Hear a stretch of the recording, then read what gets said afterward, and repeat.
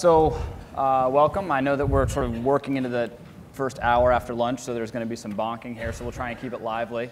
Um, uh, I'm uh, Nick Schmidle. I'm a former fellow here and a staff writer at The New Yorker. And I'm going to be moderating a panel today. Uh, we have one change. Uh, Chief of DC Chief of Police Cathy Lanier was not able to join us, but uh, in her stead, we have the very, very able Matthew Bromeland. Uh, we also, next to, to, my immediate left is Roy Austin, who is from the White House's Office of Urban Affairs. And to the far left, we have Rabia Chaudry, who is an attorney, a fellow at New America, and you may know her best from her involvement with Serial, um, amongst other things. So, uh, um, we're going to talk about uh, community policing, uh, criminal justice, sort of building off of the previous conversation. Uh, we'll talk for about 15, 20 minutes, see if there are questions, and then kind of go from there. Um, I think that we can probably all agree that it's been a fairly bad year for police, um, or at least a very fairly bad year for, for those in the communities who have been affected by a number of incidents. So the first question is sort of is, is, is for uh, Matthew and for Roy, which is that are, are there are there more episodes now than in previous years of, of uh, police misconduct, or are there more cell phones that are capturing these episodes? Matthew? Okay, you're right.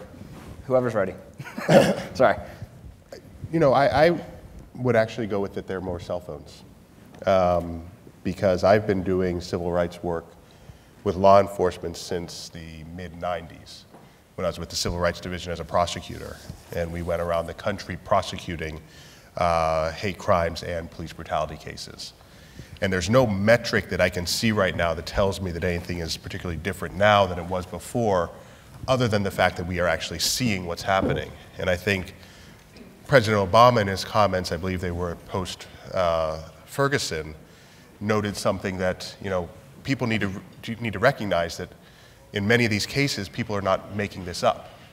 That racial profiling and issues between community and police have been happening uh, for a long time, but it was always kind of this he said, he said, or he said, she said, or she said, he said, depending on the gender of the officer, thing that was happening, and, and no one could actually tell the story in a way that people would believe it. And suddenly now we have video. Uh, I mean, what has happened in so many communities is not new, this lack of trust that we sometimes see between police and the communities. This is something that's been around for decades. And, you know, and you ask any African American male about their interactions with police, no matter what their status in life is, and they will tell you that they've had some incident with the police that was very uncomfortable. Uh, and so I, I, have to go with the, it's really that people are now seeing it through cell phones and, and increasingly dash cams and body cams. Mm. Matthew? And so just, just by way of also a quick introduction, Matthew has been an advisor to, uh, to uh, uh, Chief Lanier for the past seven years since, since she came in uh, as chief? That was a little after that, but uh, okay. yeah, I've worked directly for her for about seven years. And uh, I apologize that uh, I know that you were all expecting the six foot blonde with a gun, but unfortunately, uh, certainly she has the much more compelling story than I do, but uh, I will do my best to represent her and, and the department as a whole. Uh, I think that uh, my perspective is certainly more different than what the chief uh, perceives in her position as being uh, the head of the police department. I'm a more of a uh, behind the scenes uh, policy and projects type of person. But I think in terms of kind of the things that it's given me a different perspective, and I would agree with Mr. Austin in terms of I don't I don't think that there's there's certainly um, more instances uh, of these types of things occurring. Uh, I really think it is just the, the, the ability by which uh, when something does happen, how quickly it can spread across the country or across the world for that matter. It's kind of the globalization of, of, uh, of kind of the issues and the challenges that I think are, are facing police. And I certainly think, I don't know if I'd say it was necessarily a bad year for police, but I would certainly say it was an incredibly difficult and challenging year uh, for police. But I think that part of the uh, part of the reason why I'm in this business, and I was talking to Mr. Austin and, and Ms. Chaudry, the part of the reason that we're in this business is because we, we want to face those difficult challenges. We want to try to affect change. and uh, make improvements in, in, in both policing and the, and the way that we interact with the community. The, uh, you- mentioned that sort of you no longer have the hearsay element. The hearsay element has been taken out with video. I mean, it's obviously somewhat cliche to say that, that you know that video is kind of democratizing, but but honestly, there was that moral high ground that was offered by a badge uh, in, in, in a dispute over what happened that is that is no longer there with the video. R- Rabia, what do you um, sort of having watched the debate and listened to the debate, what do you what do you think is missing from the debate over the course of the past year? What what, what has not been discussed um, that, that, that should ha- that should be? Um, First, let me just say thank you for having me, and I also apologize for not being a six-foot blonde with a gun. Um, I've always felt terrible about that. Uh, But anyway, um, I mean, I think what, to me, really uh, has been missing from this, and you know, I, you know, my relationship to this particular conversation on police brutality as it relates to black Americans is um, tangential because my, my involvement really has been with community relations with Muslim American communities in the context of counterterrorism and CVE. Um, but, so as kind of an outside observer, I would. Right, countering violent extremism. Um, is that uh, I don't see a lot of discussion about the culture of policing. Um, and I feel like, you know, for me, you know, when we examine like why certain pathologies exist, you know, in, in certain institutions or communities or regions or anything, we, we try to kind of look at what are, the, what are the root causes here, what are the cultural issues here. And I feel like, so to me, I mean, I'm, I'm much more um, interested in finding out what, what is this core element of um, treating certain minority groups with a level of disrespect um, and also in a i mean the power dynamics are so clear right that when you it, seems to me that if once you obtain when you, when you get a badge you feel like you have a certain level of power over other people and so the idea of being a public servant has gone out the window um, there's that and i'm also really concerned about accountability issues uh, you know part of the concern of communities is that even when there's clear police brutality, you're not getting accountability, you're not getting it in the courts, uh, and you're also of, oftentimes not getting it from the institutions. You don't get these, you know, an, a public apology. You don't get, rest, you don't, you don't get any kind of um, healing between the community and the institution. It just becomes a standoff. Well, or in the case of, of, as we've seen with the mayor of New York, when you do take a position that sort of is, is, is a, a strong position of, of sympathy or empathy with the community, it has backfired within the police force. And so there seems to be uh, a very fine line to walk there. How have you all sort of, what have you all done uh, to try and both preserve the trust of the community while also pres- pro- sort of um, preventing a mutiny within the police force? Uh, Yeah, I think that's a difficult. I mean, certainly in terms of, and, and let me uh, let me be clear. The chief is obviously more than just the six foot blonde with the gun. So I just want to make that clear. Um, uh, she's somebody that I respect very highly, and I think that in terms of kind of how deliberate she's been in terms of engaging the community, and then also uh, what you don't see behind the scenes, how deliberate she's been in engaging the members of the department. I mean, we talk about kind of the cultural aspects of policing and kind of the modernization of policing and the professionalism within, within the profession itself. And I think that one of the things that she's been trying to do, uh, and that I've been involved in, and some of her other staff members, is kind of engaging internally. Uh, you know, what what do we do as a group to identify kind of these issues that and the challenges that we're trying to face, and what are the things that we can do to together uh, kind of bring us up that to that next step, to So- con- that continual improvement. So you, you've been there for seven years. Have there been, you've been sort of part of these, these uh, war council meetings, I'm sure, on a number of occasions. There has to have been an episode or two that had Ferguson-like potential in DC. And, and I wondered, I, mean, I'm, I'm obviously speculating, but uh, A, can you confirm that there have been an episode or two? Describe what happened and describe sort of what you all did to, to prevent it from, from taking on, uh, from growing out of it. Um, I'm, I'm trying to rack my brain for an, any specific incident. There's probably a, a few, certainly, that uh, could have, uh, uh, I guess, erupted, a potential for erupting into something uh, in terms of uh, the community as a whole. Uh, against the police, so to speak. But I think, again, and it goes back to some of the, the kind of just the chief's approach and the, and the things that she's uh, uh, kind of the strategies that she's tried to employ in terms of very, very, very deliberate in terms of her connection with the community, how we engage, the expectations that she sets for the members of the department, not just the officers, but obviously all of her, all of her employees. We all engage with the community on a regular basis. And I think by having tho- those relationships, that positive, constructive relationship from the get-go, uh, it, it says a lot when something, when something difficult does occur or an incident may happen, uh, that there's, a, there's, there's an opportunity and kind of a, a, patience and an understanding to allow us to have that dialogue so that it doesn't just become uh, an instant, uh, uh you know. Con- uh, Can you give us a, an example conflict. of? I mean, we hear engagement, and you think sort of, uh, you know, bake sales. Like, what, what, is, what does engagement mean on a day to day? Can you give us an example of kind of what, what is a current initiative that's sure. being done? I think that you know the example that the that the chief always talks about is just the idea of the the, the standard foot patrol officer that's out there who knows everybody on their block uh, who says hi to the, everybody on their street, knows everybody within the neighborhood, knows, knows the guys on the corner, knows the young family that just moved in on the other side of the street, uh, knows the, the woman, uh, the matriarch of the neighborhood who's been there for 70 years.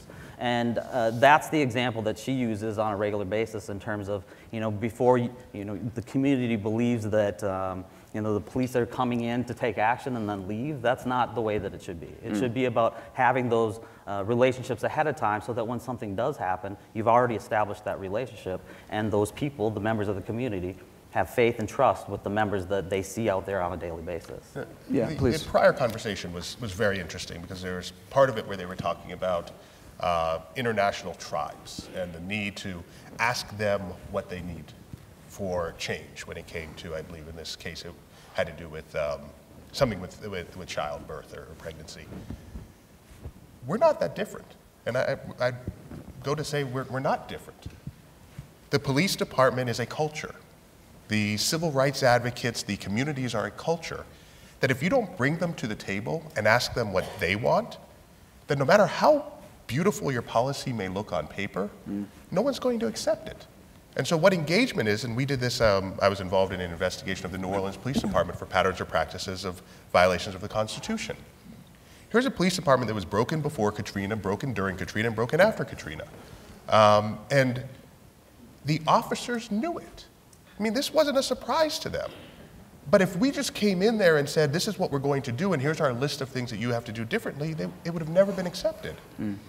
What we did immediately was we sat down with as many of them as possible and you put them in a small group away from the lights and the cameras and everybody else, and you ask them, What's going on with your department? What can we do to fix it? They will be incredibly honest with you. This is what we need. We need better training. We need clearer policies. We need officers who do wrong to be held accountable.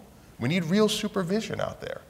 They know it. And so, what engagement is there is bring them to the table, have that conversation, and then you're going to have buy-in when you present them with what happens. Uh, one, just one real quick story from that whole thing is um, just showing the power of culture. We said right away, you know, officers should not be receiving cash for doing their job. And in New Orleans, you had this system where officers would receive cash for escorting people to funerals or to weddings.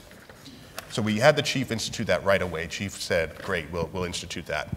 Went back like two weeks later and said, Chief, how's that going? And he said, you know, let me tell you, they're not taking cash anymore, but now they're asking people for checks written out to cash. I mean, it was a culture there that, and, and we just, that was what we were up against. And that's why, you know, change being slow is real, because this is how people have lived their lives generation over generation as to how law enforcement should, should work. There was a, a piece in the Atlantic last week about the, the, the myth of police reform, and it was talking, I mean, essentially saying that we're expecting we're expecting police officers to be law enforcement. We're also expecting them to be community outreach. We're expecting, there's almost like a mission creep that we, cr- criticism of police officers uh, and mission creep similar to the one that's been levied against the U.S. military. The U.S. military is, can, can deliver aid faster around the world after a natural disaster than anyone else, but should they be delivering aid? And I think that's the question. I sort of wonder um, how much. Uh, how much can police reform be affected sort of within by, by police officers or, or is there you know and I'm, and I'm remiss to get into a big conversation about grand strategy but the uh, how much of that needs to be wrapped up into other uh, uh, other offices and initiatives that may not even exist at this point Uh, uh, real quickly. I mean, you're not going to change based on you alone deciding I need to change. Okay, they're going to be outside people who are going to have to tell you and work with you, and it's going to have to be acceptance by you of this, and it's going to be that the officers really and truly uh, hear it from the outside. So it's both. And so in the President's Task Force on 21st Century Policing, the, I think it's the very first recommendation is basically move from the warrior mentality to the guardian mentality, is what it says. And so police officers have to start to believe that they are parts of the communities that they're there to police, mm. not that they are the invading forces that are going in there to save the community, but this is actually their community. Mm. well, this isn't going to happen by a police officer waking up one day and saying, okay, I'm going to be a guardian now and not a warrior anymore. It's got to be the police officer deciding they want to do it, but it's also got to be all of the civilians deciding that that's what they want. It's going to have to be the business community deciding that that's what they have to be. It's going to be the entire community deciding that that's what we want our community to look like for it to actually change. Rabia, what about what have you seen in the past 14 years? Have you seen an evolution, uh, whether it's in sort of awareness and knowledge by uh, law enforcement of, of concerns and considerations in the Muslim American communities, or is it have you have you, have you been in, in, encouraged by what you've seen at all in terms of education Um, awareness? I mean, not necessarily. Um, what's happened in the last 14 years is that um, you know local law enforcement is getting uh, just like you mentioned mission creep. I mean they're expected more and more to not just do their regular jobs but also to be uh, aware of uh, things like violent extremism and counterterrorism and all these things. A lot of times they like. I, you know, I started a firm called Safe Nation Collaborative to be able to provide training for law enforcement officers on a local level to work with American Muslim communities in a respectful way so they actually know one another. I mean, it's important to understand, you know, the, the culture and the needs of, of a law enforcement institution, but also the community. Like, who are these people? Um, and what are their needs and what are their concerns and what are their histories? Uh, with the American Muslim community, you have a really large population that are uh, immigrants, right? Like, I'm a second generation immigrant. A lot of times, these are people who come from countries where law enforcement is an extremely, extremely corrupt institution. If people are terrified of it, you know. I mean, I remember my father once had to go to once in his life had to go to court for a traffic violation. He was terrified. He wanted me with him as an attorney, and I said, "This is not Pakistan. You know, you'll be fine." Um, so you know, so they have to also understand the community. But what I've seen is, I mean, as anti-Muslim rhetoric um, and sentiment in America generally is actually at higher levels now than it was after 9/11. This impacts all you know people across the board including law enforcement officers. Um, the, we've, we had issue, we, we had concerns around 2009, 2010 that there were like this really broad, um, really negative law enforcement trainings about Islam and Muslims that were just, you know, terrifying law enforcement officers and, and security officials. But that's not what happened. I mean, they, they, they existed, but not, it wasn't a wide scale thing. What really happened was that you had more and more anti-Muslim sentiment in the public discourse, in media, in punditry, um, and this was being absorbed by every, all kinds of people, including law enforcement officials. Um, the University of Maryland, their START program, uh, did a study a few years ago where they asked uh, you know, state level law enforcement to respond to what were their, some of their major concerns uh, about you know, the, the issues that they're facing. And about 90% said that one of their major concerns was jihad in their neighborhoods. Okay? It's like an existential fear, right? But they're, they're not putting any training towards it. They don't get any training towards it. It's just something that occupies a space in their heads and probably impacts how they're you know, interacting with the community. So this is a concern. Um, I once had an intelligence officer tell me when she needed, when she was doing analysis of you know, these types of issues, you know, maybe some, some communication came by, and she needed to understand something from, you know, about Islam or Muslims, she would Google it you know like you know that's dangerous to google something like that because as a muslim if you've googled stuff like that you know what i'm talking about um, don't do it don't do it um, so you know I, I don't necessarily see but you know so to me it's it's less that there's an actual you know uh, actual issues like you know that, that law enforcement folks are facing with the American Muslim community. It's more like a fear, and that fear has been growing over years. And I suppose, I mean, if you think about the, the um, AP expose a couple of years ago about the NYPD's spying in, in, in New York mosques, I mean, that, I'm, we all know about that story inside of this room, but that, that story had so little sort of widespread resonance Sure, yeah. that if that would have happened in a, diff, in a, in a, in a non-Muslim community in the United States, I feel like it would have, it would have been Yeah. a, a much more enduring story. Yeah, they've been a, they've been a complicated uh, force to deal with. Um, the uh, two of the recent shootings, um, one involving Eric Harris, the Oklahoma man who was shot by Robert Bates, a police officer, when Bates claimed that he was reaching for his taser and pulled his gun instead. And then uh, Tamir Rice, the Cleveland boy who was shot in a park recently when a police officer mistook Tamir's toy gun for a real gun, seem reflective of, of just poorly trained police officers. Um, Roy, do you think there are, are, are too many men and women who have been granted the moral and legal authority to exercise lethal force? Let me start by saying I, I, I simply cannot talk about specific incidents, and, and any specific incident is actually the province of the Department of Justice. I, I think, I think training is a piece of it, but I, think going to what had just said, you can train someone to death, and the, the problem is, uh, and that analogy was not meant that way, um, but at, at the end of the day, people have to have familiarity. And so I can tell you everything I want to tell you about a Muslim American, but until you sit next to one in your patrol car and really understand it, you're not going to change the behavior.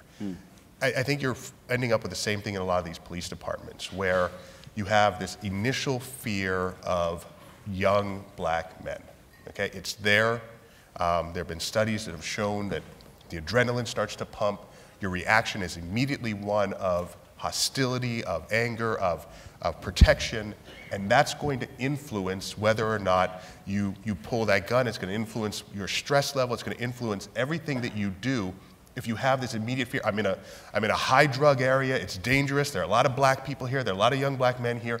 That's all building up, and that's part of it, as far as I'm concerned, what's leading to some of these incidents. And until you actually understand that 90% of these communities are just people who, you know, 99% of these communities are just people who want to live their lives, um, are, are just as concerned about the violence as you are, you're not going to behave in a way that's going to ensure that you don't end up with these really tragic incidents time and again.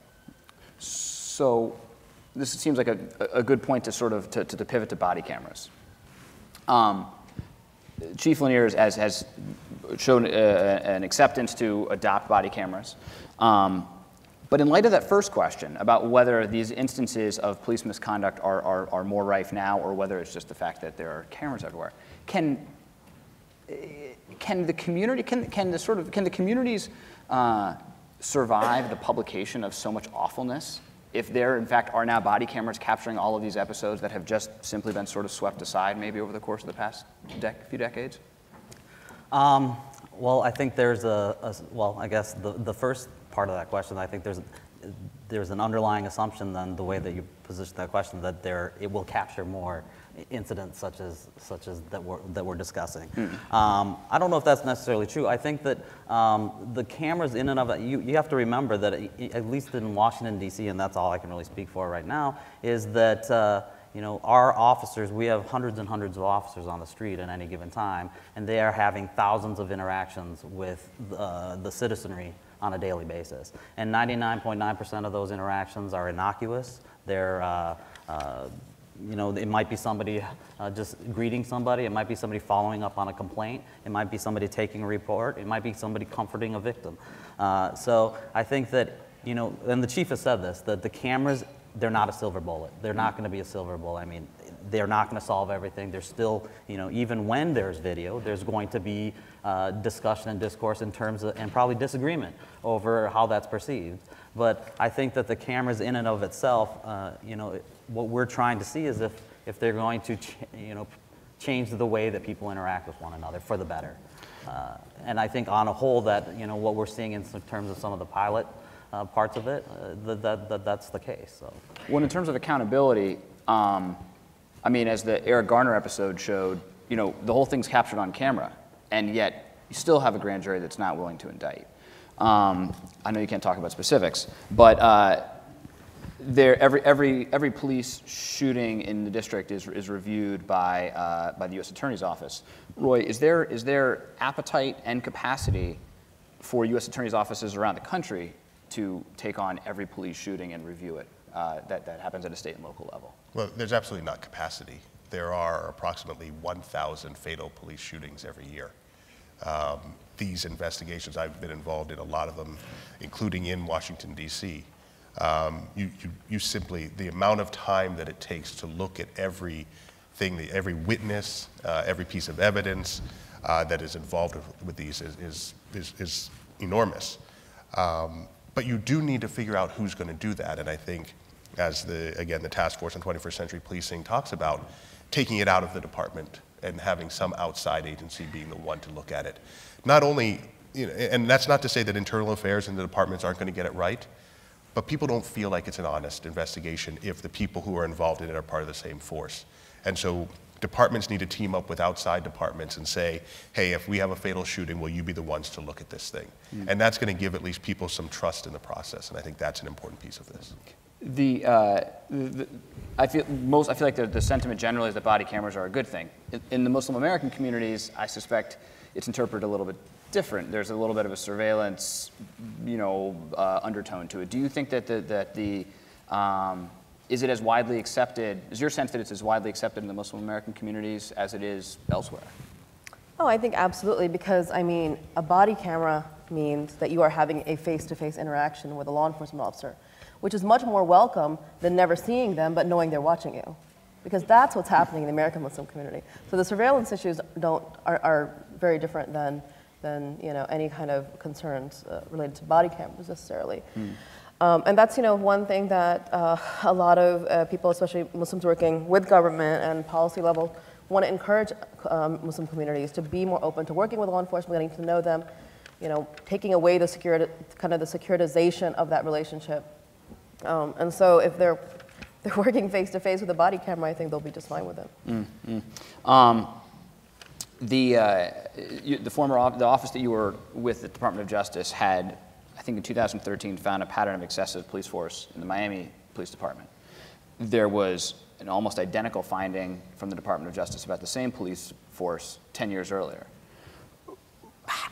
Who, who, who does that, where, where's the accountability there? Is that, is that a lack of, I mean, with the Department of Justice, if they are not prosecuting and they're just coming to findings, do these things have any teeth? Yeah, so I, can't speak to the earlier one because I wasn't involved in that one, but I can, I can talk a little bit more about, about what we did more recently. And the difference is, is, is the, uh, and this is really under Tom Perez, who's now the uh, um, Secretary of Labor, and Eric Holder's leadership, is a real push to, to consent decrees and real agreements, uh, as opposed to the past where we'd make our findings and there would be some kind of agreement between that party and maybe the Department of Justice that was largely unenforceable to having an independent court being the one uh, and, and bringing on a, an independent monitor to be the one. So that's what we did in New Orleans, that's what we've done in uh, Portland and Seattle and East Haven, Connecticut, and in numerous places around the country. So not only did we bulk up the program, but we made the requirements even more strict. But uh, let me just say one thing, though, that, we, that has to be made clear. Police officers do have a hard job. There's some awful, awful crimes that happen uh, that police officers have to, have to uh, address. Um, and so we have to keep that in mind uh, at the same time because we will be the first ones to call the police when something horrible is happening. And if we don't put some trust in them, um, then that's going to make that, more, that much harder for them to do the things that we're asking them to do. So this is a balance, and, and you have to find that balance, and you have to believe that the, the, the men and women who choose to be police officers both want to and can do the right thing um, more often than not. Right, right. But I, suppose I, the re, I was asking because I had spent some time last year in Chicago doing a story that involved uh, a number of, of, of uh, Chicago police officers who come under heavy long-term allegations about police misconduct. And it wasn't, and there had been Cook County State's Attorney's Office's findings, there had been Chicago Police Department findings, but none of them had any teeth. It wasn't until the U.S. Attorney's Office got involved and indicted John Burge that suddenly people took notice. And I sort of wonder, I mean, is that, does, you know, the feds obviously are not a panacea to, to step in on all of these affairs, but sort of how do you, you know, how do you say take grand jury, uh, how do you take grand jury decisions out of the state and local environment and sort of, you know, you can't put everything in the federal hands, but where's, where's, the, where's the balance there?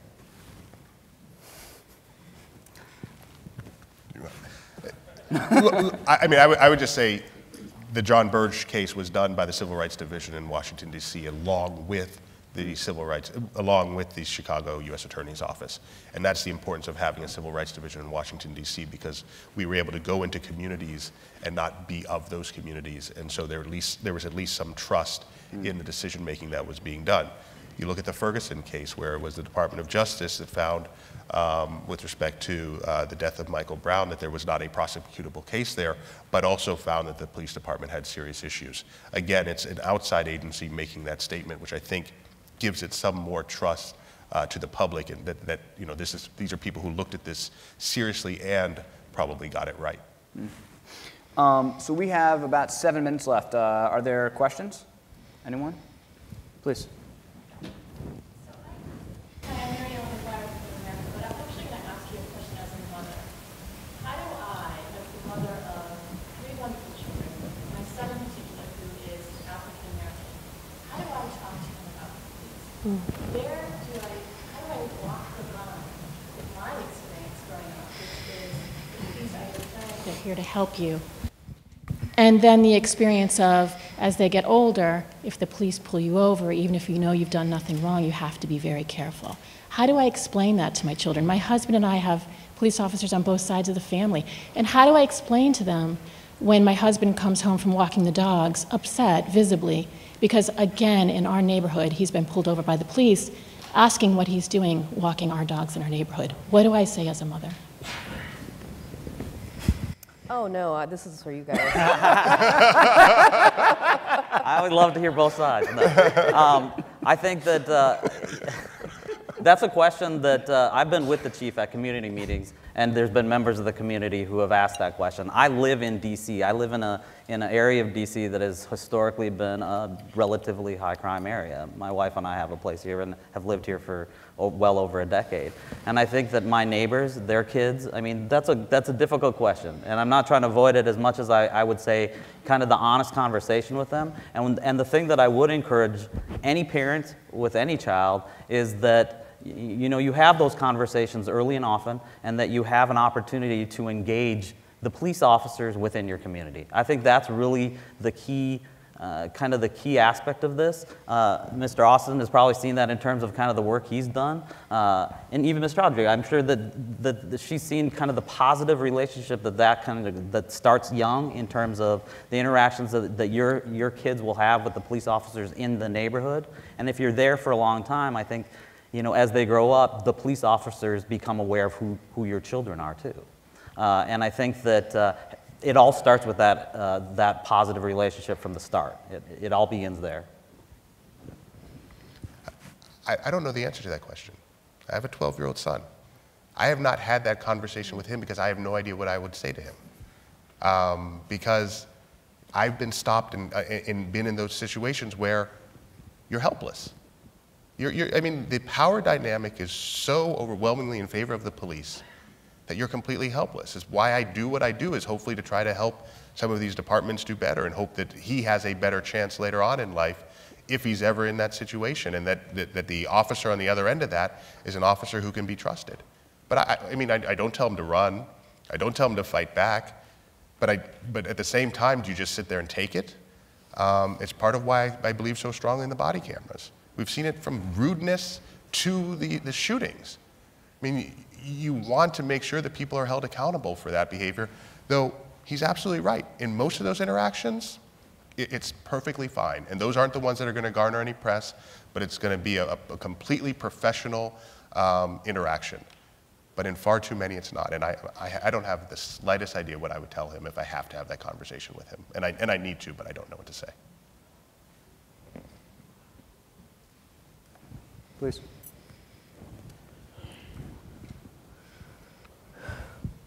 I'm Meredith Wadman. I'm also a fellow with the New America Foundation. Um, my 14 year old son loves skateboarding, and he and six or seven friends were down in Rosslyn near the Key Bridge skateboarding a few nights ago, actually, a couple of weeks ago now. And um, they got to acting like 14 year old boys do, I'm sure, and they were shoving each other around, and someone in one of the apartments must have called the police, and suddenly they were surrounded. And these guys were just, now granted, I only have one point of view on what happened, but apparently these cops, and these kids were all white, by the way, which is interesting, separated these kids, scared the living daylights out of them, saying you're going to have an arrest record, your college career is going to be ruined, and this and that, and just were really gratuitously awful. And my son came home and said, You know, now I, I, I, I'm going to think about police a different way for the rest of my life. And, you know, I can only imagine if, uh, if you know, my son had been black skinned. And I didn't know how to come back to him and say, all cops aren't like that. It sounded Pollyanna ish to say that in that particular context. And I'm still furious at these guys. And I wanted to make a complaint. And my son was like, no, no, you'll make it worse. And, you know, I just, I just left it, but it's been eating at me and it's come back to me as I've been listening to you guys. I'd just be interested for any input about how to talk to him going forward about how to see, how to see cops. Well, you really need to issue that complaint because that's the problem is people don't know that this is happening. And that's one thing when, with all of our consent decrees, we put a very strict requirement that every officer has to be able to take a complaint. You have to be able to put it in, um, in every station house. Uh, more and more, we're looking at what technology might be able to do to make the complaint process easier. I mean, everyone has a phone. Can you make the complaint right then and there on the phone? But if no one knows that that happened, then when is the behavior ever going to stop? And so that, that's the problem. And, and I, I get your son's position too. Look, I just want to live my life. I just want to skateboard. I don't want to end up being dragged into court having to tell some investigator about what happened in this incident. But if, if you're silent about it, no one ever knows that it happened. Actually, can I, can I if, I, if I can just respond? Um, and I also I had a thought about the previous question too, because I mean, and this is it's kind of sad, but you know, as uh, the mother of two children who have grown up in the shadow of 9/11, they have no idea what the United States, what, what it was like growing up as an American before 9/11 and before people thought of you a certain way. Um, I've had to basically tell them, uh, you know, teach them about, I mean, you teach children about all kinds of dangers, right? Pred, online predators and, you know, stranger danger and all. And this is like literally one more thing that they have to be careful about. That as I have a teenager, listen, if an FBI agent comes to you, this is how you have to handle it. This is, these are the things that could get you in trouble where you have no idea that you're just, you know, you don't even. So, I mean, I, you, I have to prepare them for all kinds of realities, but at the same time, um, just to cut some slack to the law enforcement officers, a lot of times uh, what people on the other end of it don't understand are the kinds of choices and decisions that law enforcement has to make. Um, and what's been really informative for me is being part of these roundtables uh, in different parts of the country where you have federal law enforcement, local law enforcement, um, National Counterterror Center, and then you have um, Muslim activists and faith leaders and, and even like college students all getting together and going through a scenario together. That, you know, these are the, a number of things that have happened. How would you handle this? At what point would you start to investigate? At what point do you make an arrest? And across the board, all the, Mus- the Muslims would make an arrest like weeks before the law enforcement officers. They're like, oh, that's shady. No, no, you got to make an arrest. Um, because suddenly they're put in that position and they understand the kind of really difficult choices. That, uh, so even in a situation like this, I mean, maybe, for example, if you were to be able to have that conversation, and, and it's hard because I know um, institutionally, you know, they, they sometimes can't respond. But if you know that maybe there's been some gang activity, maybe there's been some violence already in the community, or something's happened that caused a certain reaction, um, it might be more, you know, you might be able to understand that. Part of, part of the challenge, though, is then getting that response of it being explained to you, you know. Um, so anyhow, I, those are just some thoughts that I had. So we've, we've unfortunately run out of time. I, I do want a last word here before we wrap up. I just want to say file a complaint. I want to echo what Mr. Austin said because I think that it, by, and, I, and again, I don't want to trivialize kind of the, the, the trauma that your son went through, but I think it's important that if coming from the kind of the law enforcement side, if, if nothing's said, it perpetuates that strategy for that, those officers. They believe that strategy works, right? And I think that if anything, the, the thing that we're trying to do is try to change that aspect that it doesn't have to be scary. You don't have to be a big scary person to be a police officer, that it is more about being, uh, you know, a friendly, what happened to the officer friendly of, you know, of, of decades ago? And there's nothing wrong with that, even with all the different threats, even and how difficult the job is as a police officer, that's, you know, it's part of their responsibility. And they can engage people in a much respectful and more, uh, you know, humanizing kind of way. So I absolutely think you should file a complaint, I do. Well, thank you all for joining us, and thank you uh, for coming to the panel. Thanks.